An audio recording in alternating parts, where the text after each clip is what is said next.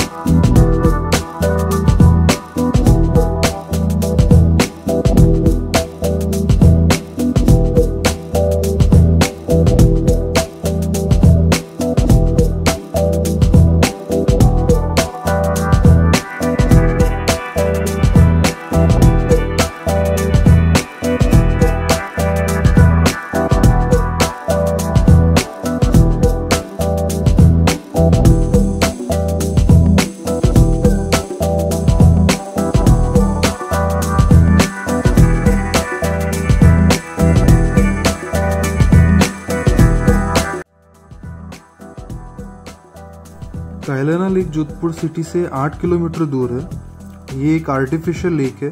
प्रताप सिंह जी ने ये सन अठारह सौ बहत्तर में बनवाया था। प्रताप सिंह जी, तकत सिंह जी और गुलाब कंवर जी के तीसरे बेटे थे। अठारह से पहले यहाँ पर दो राजाओं के पैलेस और गार्डन हुआ करते थे, जो जिनका नाम भीम सिंह जी और तकत सिंह जी है। तो कायलाना लेक जो है, वो उनके पैलेस और गार्डन को तोड़कर बनाया गया है।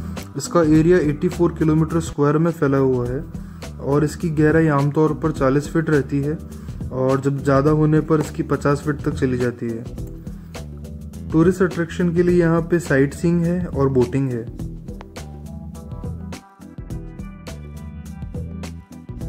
अभी वाटर लेवल यहाँ का काफ़ी हाई है आई थिंक पचास फीट होगा।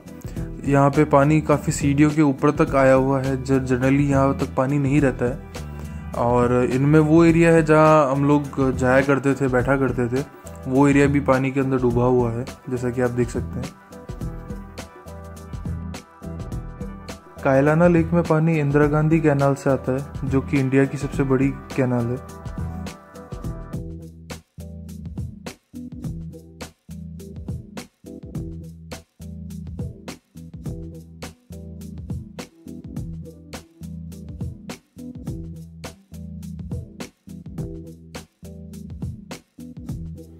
टूरिस्ट अट्रैक्शन के लिए यहाँ पे साइट सिंग और बोटिंग है। जैसे कि अभी देख सकते हैं सामने कुछ लोग बोट पर सवार हैं।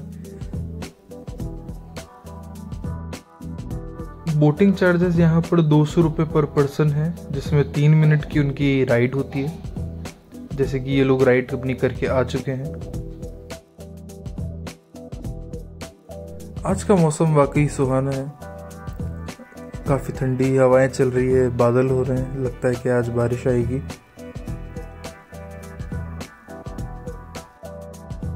बड़े टाइम बाद यहाँ के नज़ारे देख के मज़ा आ गया। यहाँ आके कभी महसूस नहीं होता कि आर्टिफिशियल लेक है। लगता है जैसे कि नेचुरल लेक ही है ये।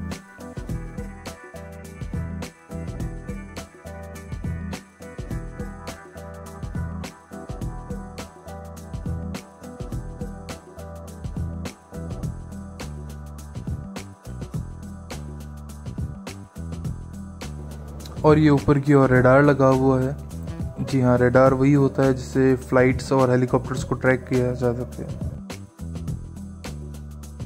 बरसात के दिनों में यहाँ इससे और ज़्यादा हरियाली होती है और ज़्यादातर यहाँ पे बबूल के पौधे उगे हुए हैं।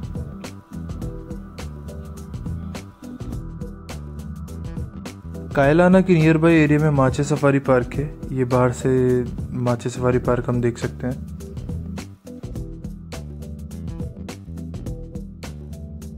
और ये हम कायलाना चौराहे पे आ चुके हैं और अब यहाँ से हम जा रहे हैं साइट सीइंग करने, कुछ थोड़ा सा मस्ती करने और फिर वहाँ से जाएँगे घर की ओर।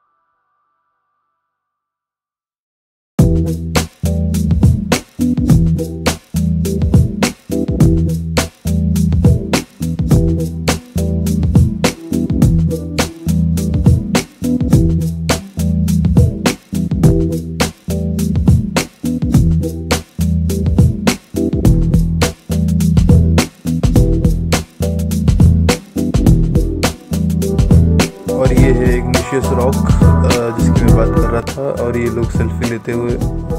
देखिए किस तरह से रॉक पे कैक्टस उगा हुआ है। और ये लोग बोट पे मज़े लेते हुए। देखिए सूरज किस तरह से बढ़िया दिख रहा है। ये देखिए इग्निशियस रॉक कैसी होती है।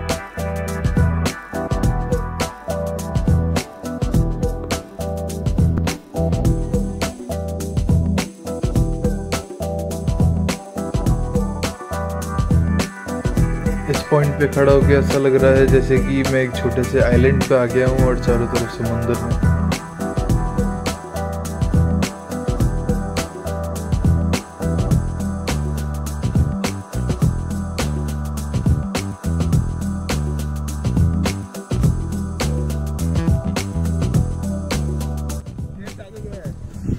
तो हम यहाँ रॉक पे बैठे हैं और यहाँ का मज़ा एक अलग ही है। बड़ा घर जैसा फील हो रहा है यहाँ बैठ के।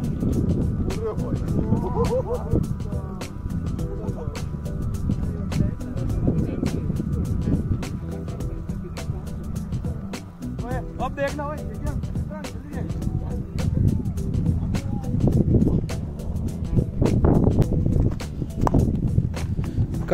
मन तो बड़ा खुश हो गया है। मतलब यहाँ क्या लग रहा है टाइम वेस्ट नहीं किया है? आके अच्छा ज़रूर लग रहा है। मस्त ठंडी हवाएँ चल रही है और मज़ा आ गया फ्रेश हो गया। बहुत सालों बाद आया हूँ कायलाना।